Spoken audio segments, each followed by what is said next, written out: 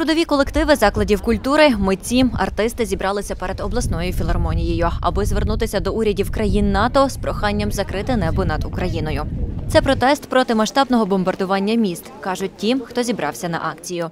Учасники також поділилися своїм розумінням закриття повітряного простору над нашою державою. Ми тут, тому що нам необхідно, щоб нас почули у всьому світі і закрили небо над Україною.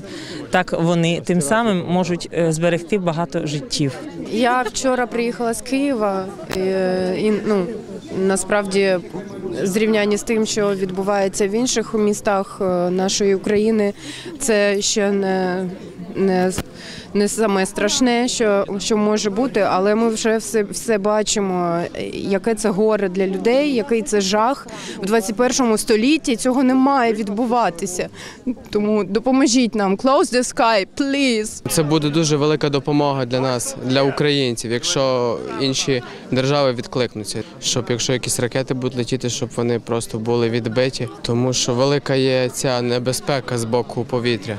Е, Я думаю, що сьогодні тут е, вся культура Закарпаття зібралася для того, щоб підтримати закриття неба над Україною, тому що це дасть змогу не гинути стільком людям на нашій Україні. Я прийшла з мамою, щоб не було війни і закрити небо над Україною. І ми звертаємося е, до всіх урядів, всіх країн, до НАТО, до президентів всіх країн, щоб вони закрили е, небо над Україною. Підтримуємо президента України, і тому ми туди зібралися. Учасники акції на площі біля філармонії написали заклики закрити небо над Україною і зачитали усне звернення.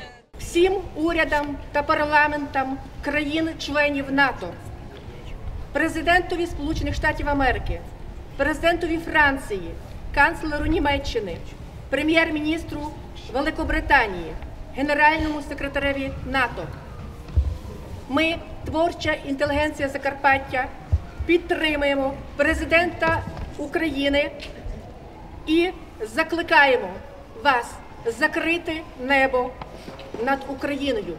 На завершення всі учасники акції виконали гімн України.